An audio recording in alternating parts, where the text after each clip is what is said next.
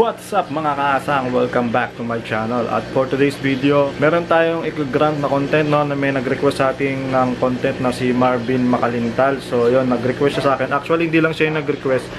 Marami rin nagre-request talaga ng video na to. So naisipan kong gawin na nga to ngayon habang hindi ako busy. No? So ayun, ang video natin ngayon ay tungkol sa pag kakaling ng gapis. No? Kung paano kinakal yung gapis kung ano yung mga inaalis tsaka yung mga tinitira kung paano sinisegregate yan sa ayun sa standards ko yung pagbabase natin na kasi ang, ang calling kasi depende yan sa standards ng breeder na maggagawa nung calling na yun. So yun depende rin sa inyo yun kung gusto nyong sundan yung ginagawa ko o iba-iba kasi tayo ng standards eh. So hindi ko masasabi yan kung hanggang saan nga yung standards nyo kung mas mataas yung standards nyo sa akin o mas mababa yung standards nyo sa pagtingin ng isda. Depende yan sa inyo talaga no? Pero ito uh, gumawa lang ako ng video para maging guide lalo lalo na do sa mga hindi pa hindi pa alam mo yon hindi pa alam kung paano talaga mag-segregate kung ano yung mga dapat alisin tsaka yung mga dapat itira pag nagbe-breed ka ng guppies. So ayun guys, pag-usapan natin ngayon. Sakto lang din guys no kasi marami na mga guppies ngayon, iba-ibang size to no. Meron tayong mga breeder size, meron tayong mga juvie size, meron din tayong mga fry pa lang na kinakaling na agad. Kasi pag ako nagkakaling guys, hanggat may nakikita akong reject sa akin, kahit maliit pa man yan o hanggang sa lumaki man yan. Kasi minsan may mga lumalaki na ano eh, alam mo yun, okay siya pag juby, okay siya pag fry, pero pag laki niya, nag-iiba na itsura niya, so nagiging kal na sa atin o nagiging reject na sa atin. So, ayun, tignan natin yung mga gapis ko dito kasi napakarami talaga ng dapat ko ikal ngayon dahil hindi ko na sila, sure, sure, hindi ko na kasi sila nakasikaso masyado ngayon. So, yun, bibigyan natin ng oras ngayon para magkal nga. At yun, papakita ko na rin sa inyo kung ano nga yung mga inaalis ko, saka yung mga tinitira ko na pangbenta o pang breed ulit. So ayun guys no, uh, lecture muna tayo no bago natin pakita yung actual na pag pagkakaling o pagse-separate ng mga reject sa mga okay.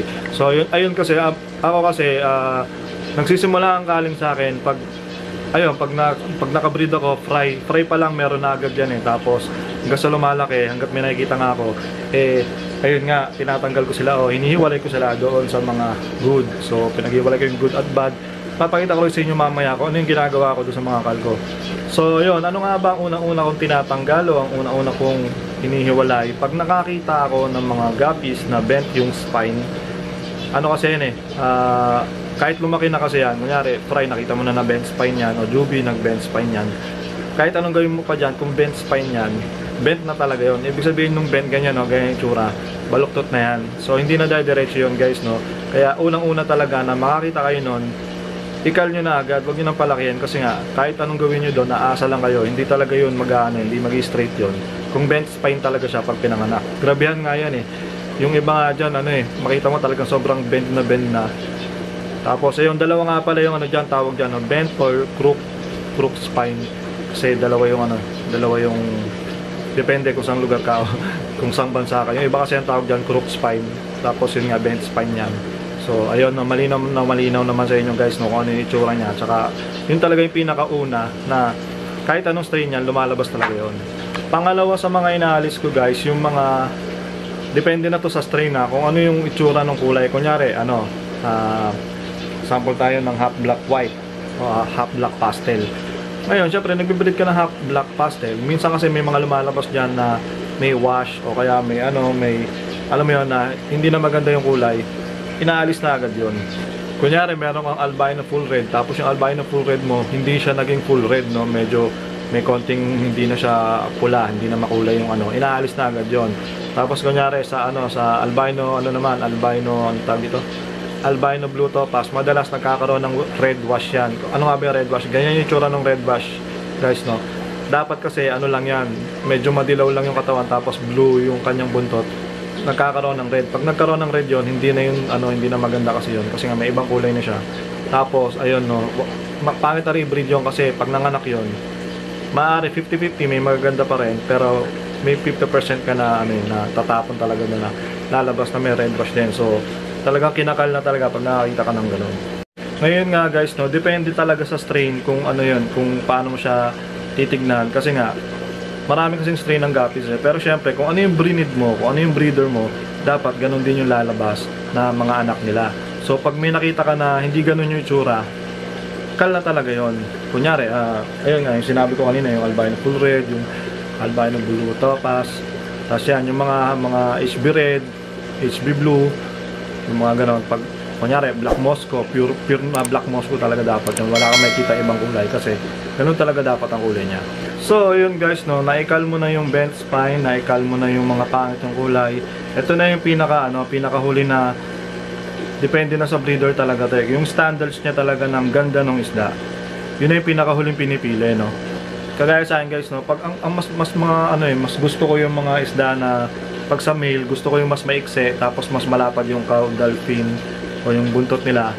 Tapos yung ano nila, yung dorsal fin nila, mas magaganda sa akin yung mga matataas. Ayoko ng mga habang dorsal fin. Gusto ko yung mga nakataas yung parang shark na gano'n.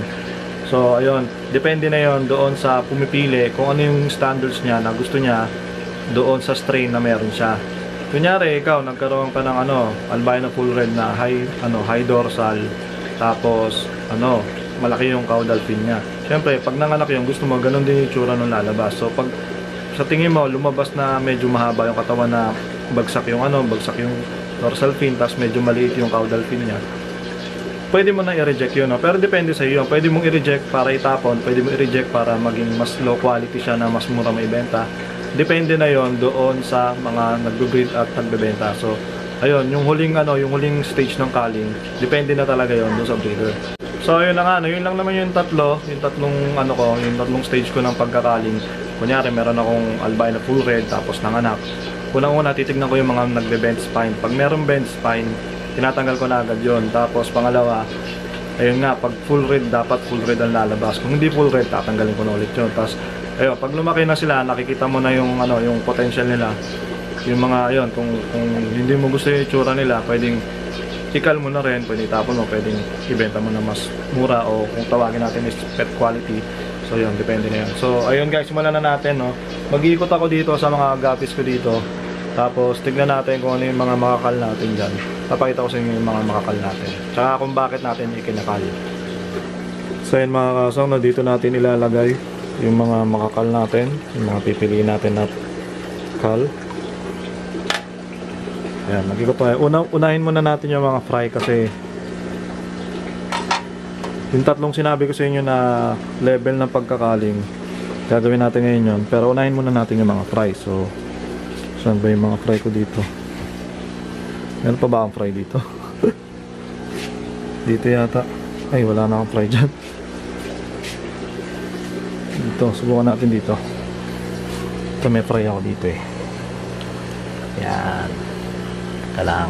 Lagyan natin ilaw para mas maliwanag. A few moments later. So yun mga kasang, no, meron akong trio dito ng HB pastel. Tapos di ko in-expect na nanganak na siya. So meron mga fry dito ngayon. Hanap tayo ng mga kal dito kung may makikita tayo. Titignan ko kung meron tayong makitang kal dito sa mga fry na to. Ayan, oh. Mga ano pa lang to, ilang days pa lang to. Parang okay lahat ah.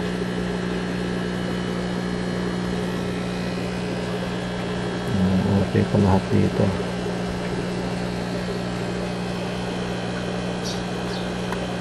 Maganda kasi itong line ko ng HB pastel eh, kaya wala masyadong kal dito. Pinipili ko rin kasi yan tapos yun, nakuha lang ako ng mga tatlo-tatlo para maging breeder ulit. Para yung inbreeding niya kahit pa paano na ano natin. Monitor natin yung inbreeding kung ano, kung ilang generation na. So yun, wala wala akong makita. wala akong makitang kal dito sa mga fry natin. Subukan natin sa iba. Saan pa ba may fry dito? Kaya ata may fry din to eh. Natin to. So yun guys, na wala akong makitang fry na kal. Kasi puro okay yung mga fry ngayon. Actually, mahirap naman talaga. May, may ano lang, konti lang naman din pag fry kasi ang gapi. Hindi mo masyado makikita na magkakaroon ng kalyan. So, hintayin mo muna lumaki ng konti. Tapos ito, tignan naman natin to medyo konti. Medyo konti to. yung medyo lumaki na. Ito yung aking fry ng ano eh. Ano ba to? Dambu ear. Mga dambu ear mosaico. Tsaka itong mga ano tawag dito? Green cobalt. So, ayan. Tignan natin kung meron tayong kal dito.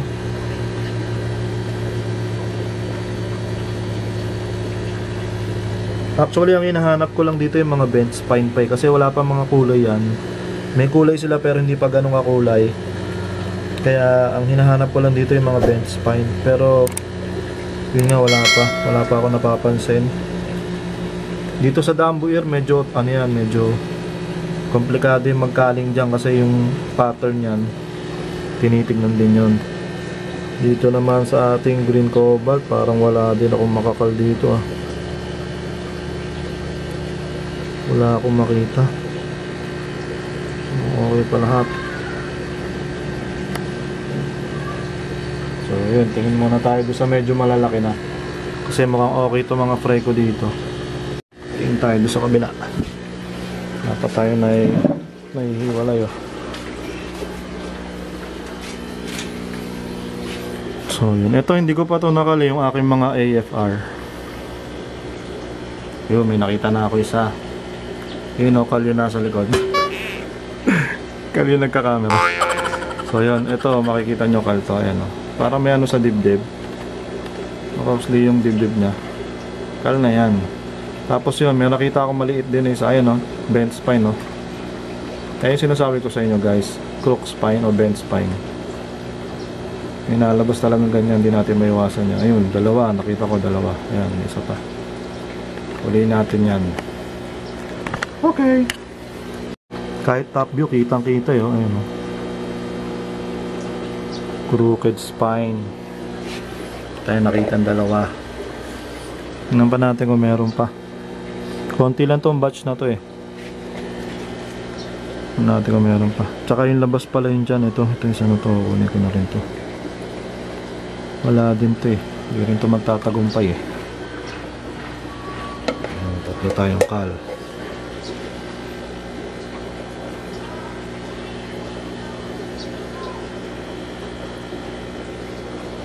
So yun guys, no, mukhang okay naman na tong batch na to. Wala na akong makukuha ang kal dito. Dito naman tayo. Tingnan natin kung may kal to. Ito ano to eh, half black. Ay half. Tama, half black pastel. HB pastel na napakarami. Wala na akong makita dito.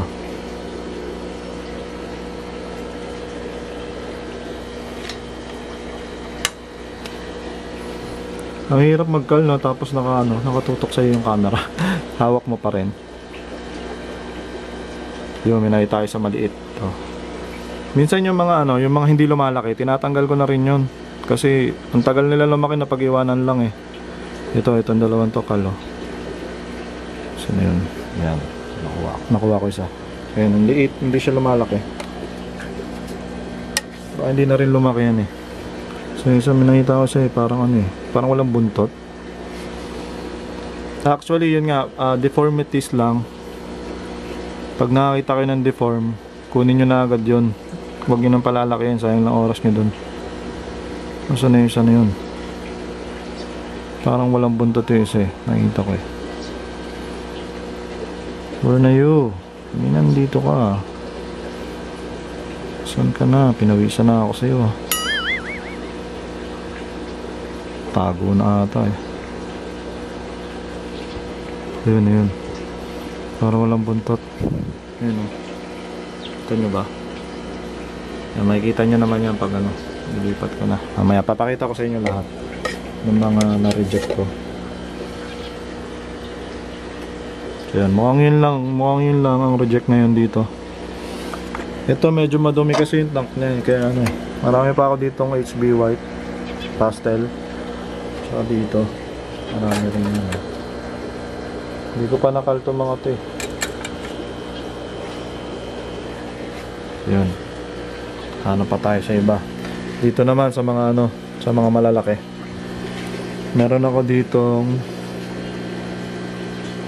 PBM. Ngayon ang problema ko dito yun, no, mga naka, ano, mga nakakagat yung buntot. Hindi siya finrat eh. Kinakagat yung buntot. Hindi na kasi tumutubo yun. Ito kagaya nito. Wala na yan. Reject na yun sa akin. Ito. Kahit malaki pa yan. Ay, nalaglag. Sorry guys. Ayun, nakuha na natin. Reject na rin naman yun eh. Ito, may isa pa. oh. Ito, marami kong nare-reject dito eh. Pag yung nasira na yung buntot nila. Hindi na kasi nabibenta yan. Kaya kailangan ng tanggalin. Ito, dami. Kunti lang naman ng maze na kailangan ko pang 20. Meron pa ba? Ganda nito isa. Ito, isa ito. Payat na rin eh. Kami parasite na rin to. Yan. Oh, good. Oh, good na ba? Marami pa ako nito sa likod. Tapos binibenta ko to guys, 150 lang ang trio niyan. Ito yung mga females ko, okay naman ang mga females ko dyan. So, ayun. Tapos na tayo dito. Tingin pa tayo ba kung meron tayo makakal. Ito yung mga matatanda ko na HB white o HB pastel.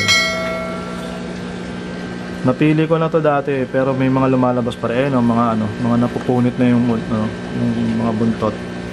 Nabubutas. Wala na yan pag ganyan eh. Hindi na yan bumabalik. Lalo na pag adult na. So, dalawa na lang yan. Pwedeng i-breed ko yan o i-feed ko na lang sa aking mga flauhon o sa aking arwana. So, yan. Bawasan na. Ay ko. Naipit na naman ako dito. Bawasan natin to. Tingnan natin kung may mga reject. Dami pa naman, oh. Dami ko kasing mails, eh. Ayaw nyo kasing bumili. Ito, wala na to isa. Ano yung buntot mo? Ubus na. Sorry. Hindi mo na nagawa-gawang lumipat ng bahay. Ito, yung mga ubos na yung buntot. Sayang. Sayang siya eh. Kaso hindi ko na rin talaga mabebenta to eh. Ganon din yun eh. Minsan pinapamigay ko na lang yan. Tumalon. Tumalon na naman. Pag tumatalon yung gapis guys, ang hirap pulihin yan. Maaaring masira na yung fins nila, mamatay na sila pag ano, pag dinampot na. Kaya dahan-dahan lang sa ano. Pag magnenet kayo nito, kunyari lilipat nyo, tumatalon-talon yan. Ito meron pa iso. Ayan, sarang-sira na yung buntot. Wala na talaga. Wala nang pag-asa. Binibenta ko rin to guys, no? Ang pair nito 150. 150 fair. Fair. F talaga, no? Pair kasama yung mga malalaki. Ito, ito, yung sinasabi ko sa inyo kanina na ano na, breeder size na siya pero lumalabas pa rin yung alam mo yon yung reject. Ito isang to. Ayan. Ayan. Ang ganda niyan dati. Ngayon nagkaroon ng puti, ay itim. Hindi na solid yung pagka white pastel niya. So reject na rin yan. Hindi ko na rin mabebenta yan. Kaya ang gagawin ko dyan, ko na lang din. Hindi ko na rin ito i-breed kasi baka manganak pa ng ganyan din eh. Sayang lang ang ano, sayang lang yung oras. So yun. Ang laki na nito kaso wala talaga tayo magagawa. Kailangan na natin ito ikal. Kal pa rin eh.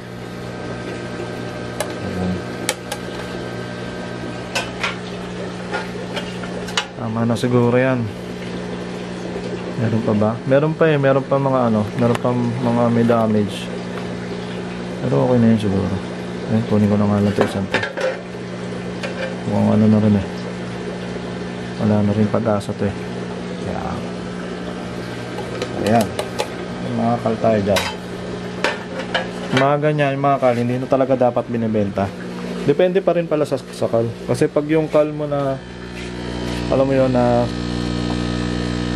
low quality lang, yun pwede pa ibenta yan. Pero yung mga ano na, may, may deform, gano'n. Dapat talaga hindi na binibenta. Ito, itong yan, dati ano yan eh, okay yan eh. Nung nanganak siya, yan, naging ganyan na yan siya. Naging bent spine na. Kal na rin yan. Ah, iwan ko yung natin. Ito, breeder size na to, nanganak na nga pa eh. Pero no choice tayo, kailangan natin ikal. Kahit boy pa siya, ganun talaga ang buhay nila. Lalo na pag sa mga breeder, kailangan gawin to. Ito, meron din dito eh, no? ABT to eh, bent spine.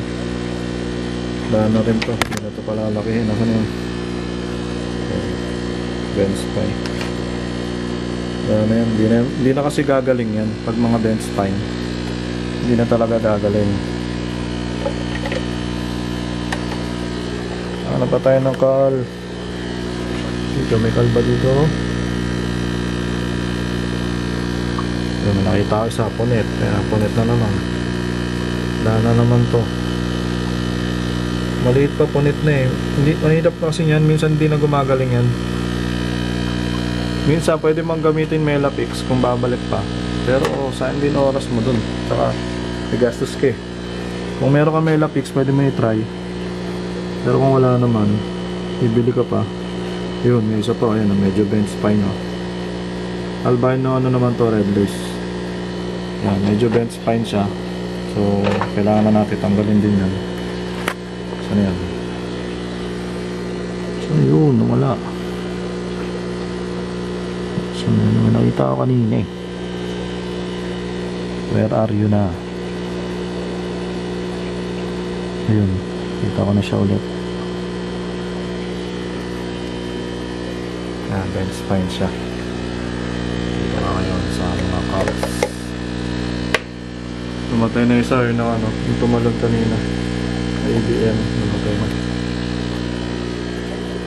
Saan pa ba tayo magkakal? Wala na yata. Mga full red ko, mga breeders.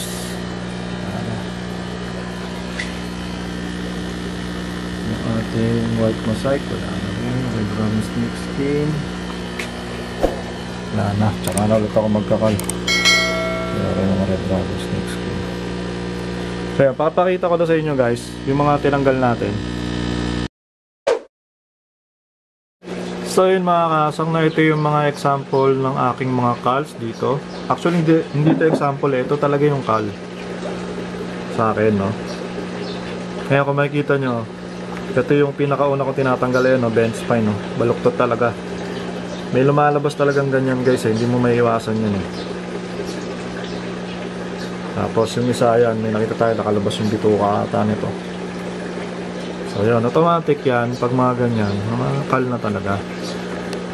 Tapos yun, pangalawa, yung sa kulay, di ba? Sinabi ko sa inyo kanina sa kulay. Ayan, kagaya niyan, HB pastel white. Pero may mga tuldok na itim. Lumalabas na yung tuldok na itim na. So, pangit na rin i-breed yan. At pangit na rin ibenta. Pwede nyo ibenta to as caps. Siguro, 10 piso isa pwede. Pero ako hindi kasi ako nagbebenta noon. So, kal na sa akin yan. Tapos yun, inaalis ko na yung mga ano yan, yung mga punit-punit yung buntot. Ang ganda sana nito, napunit lang yung buntot oh. Ang ganda siguro nito dati. Hindi ko alam ba't napupunit yung buntot. Ano yan? Yun oh. Yung mga payat, bagsak na rin sa akin yun. Yung mga payat na, kunyari yan, yung EBM na payat. Punit yung buntot. Hindi na kasi yung sa mamabalik. So, ayun guys, ito. Meron pang deform dito na ano. Yung sabi ko parang walang buntot. Ayan o. Yung isa na yan. Lang, may focus Deform din siya. Parang pilipit yung buntot niya. Ayan o. So, ayan. Ganyan yung mga example ng kal. Ngayon, yung mga ganyang klase, hindi na nabebenta yan. Depende na lang doon sa kagaya nito, itong, itong malaking to na nagiba lang yung kulay niya, no.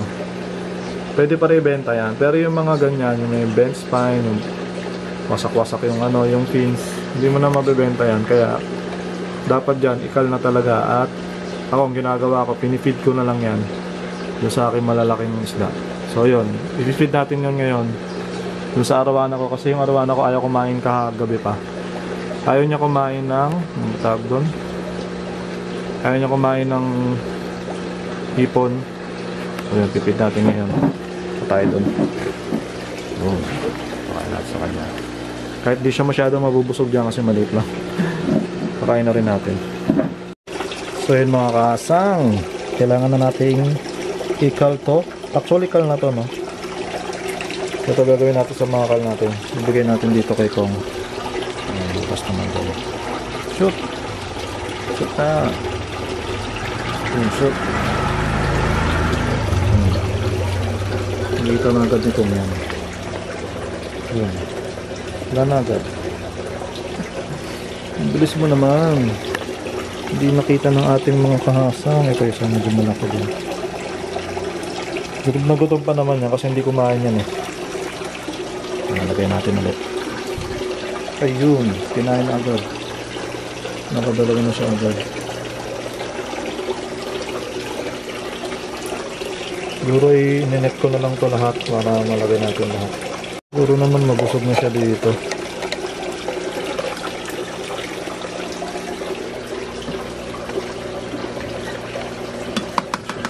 Langawihan kayo dyan. Bahala na kayo dyan. Pwede. Kita niya agad eh.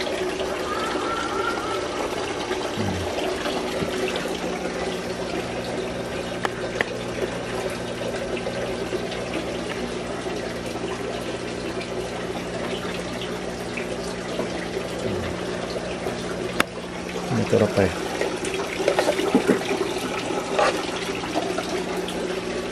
Natin lahat yan. Wala naman sakit to guys no, kaya okay pakain to kay Kong. Kasi dito rin naman yung galing. Yes. Parang chichirya lang.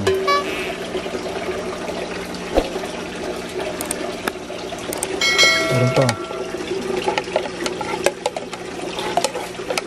Hindi makuha.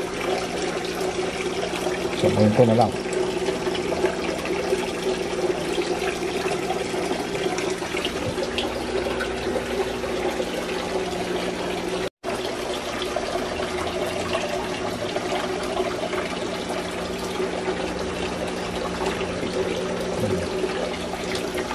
Higop na lang. Bus na agad. Yan, meron pa dito. Yan, nakita niya man.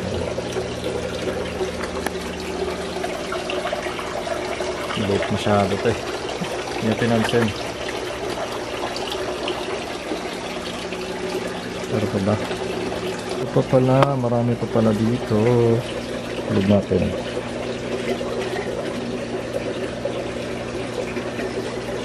Hindi pa nag-shoot sa butas eh.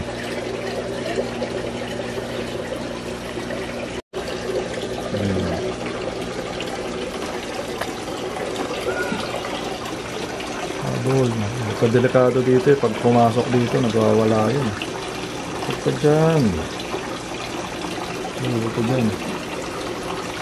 Oo, meron dito oh.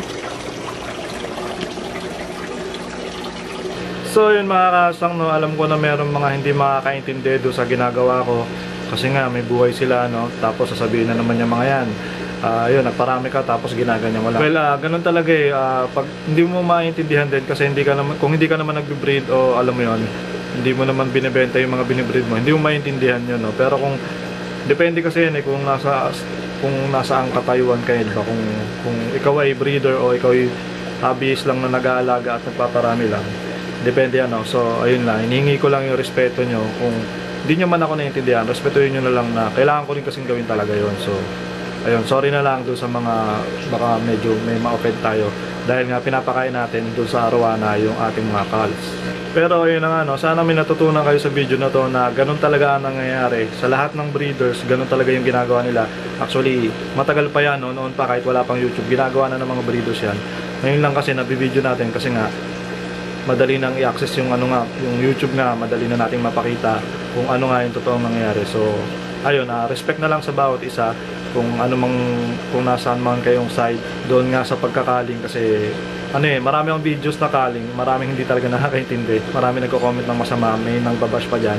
So, expect ko na may mga ganong message na naman o comments na naman ako na makukuha after ko ma-post tong video na to. At so yun na nga mga kasang no, maraming maraming salamat sa mga nanood, sa mga hindi pa na-subscribe dyan, click nyo lang ang subscribe button at ang notification bell para ma-notify kayo pag nag-upload ako ng mga bago kong videos. Tapusin na natin ang video na to pero syempre bago natin tapusin, nandito na yung mga shoutout. Shoutout po dyan sa mga breeder sa Pampanga, kay Nal Beones Puno Executive Flowerhorn, kay Boss Elliot at kay Boss Don. Shoutout sa inyo. Kay Anthony Igban ng Gapi Breeders from Angeles, Pampanga din. Sa mga first comment na natin na napakarami kay Chito Arquillo, kay Jernry Carillo, Hans Gonsalvo, kay Giancarlo Orsua at kay Maria Paula Laida de Asis yun. Shoutout sa mga first comment na marami. at shoutout din kay Sir Marvin Makalintal. Maraming shoutout sa inyong request. At so yun mga kasang maraming maraming salamat sa manonood. Hanggang sa susunod na video. Peace out.